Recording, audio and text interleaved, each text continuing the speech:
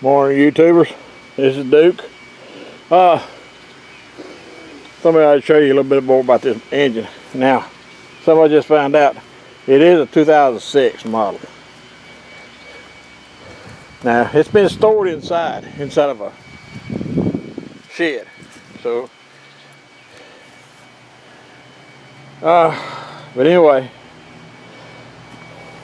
it must not have been run very long because look at this.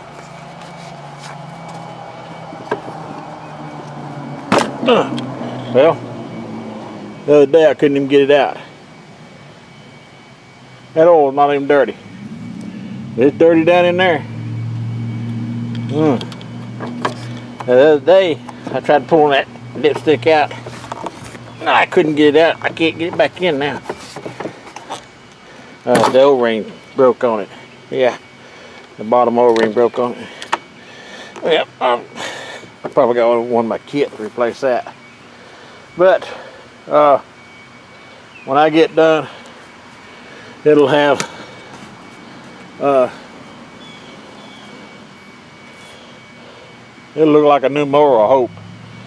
I'm fixing to spray it down with some degreasing, awesome, and uh, give it a good spray job, spray wash. So let's see how it turns out. I'll be back in a little while. I thought maybe y'all might want to see me do a little bit of work.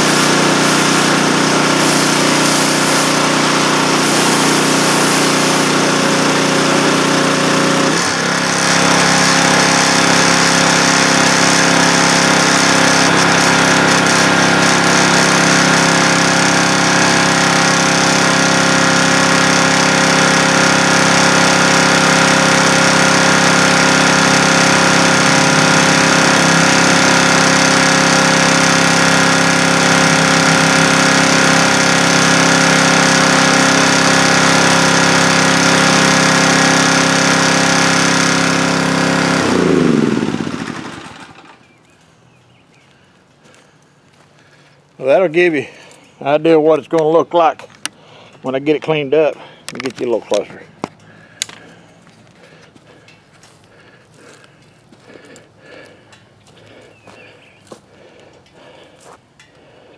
Of course, they always look better when they're wet for some reason.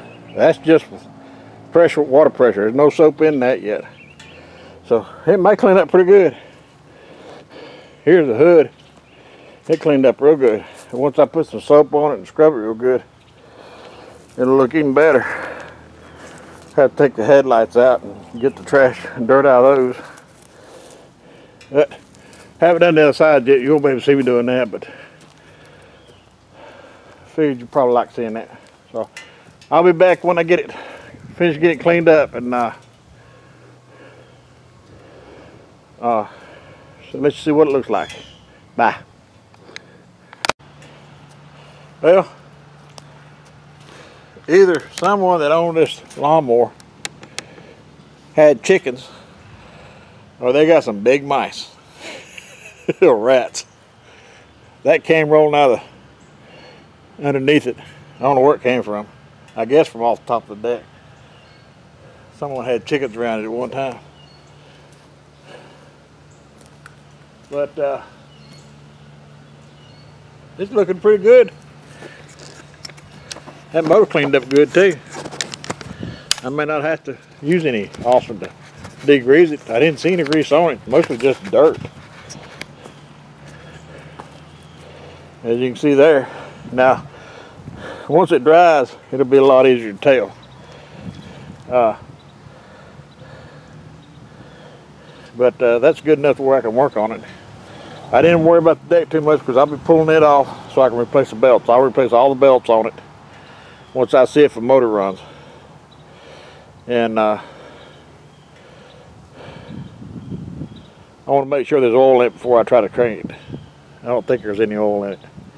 Uh, where it would have went, I don't know. Uh, but uh, I've got a little thing I can stick down in there and suck some of the oil out. And then uh, what I need, if I need to put some back, I got something I can put back into it. But uh, yeah, it's looking good. The, wheels aren't dry rotted. Tires aren't anyway. And uh, they don't look like they've been used very much. It doesn't have an hour meter on it. And I can see one, but it does have cruise control and an amp meter. No hour, no hour meter. Damn, wish I had one. I'd like to know how many hours is on this thing. But, it doesn't look like too many. So, uh, uh, the reason I washed it today is because tomorrow it's supposed to rain. Got a 60% chance. I wanted to wash it, let it dry, and pull it up in, into the shop on the uh, the uh, bench before it gets wet. I mean, before it rains. So, uh, I'll be, this, this is chapter one, I guess, or part one. And uh, let's see, we'll call this the Troy-Bilt. let's see, yeah, Bronco. Troy-Bilt Bronco, part one. And uh, you're going to see this from start to finish. So, uh, I'll see you tomorrow. Bye.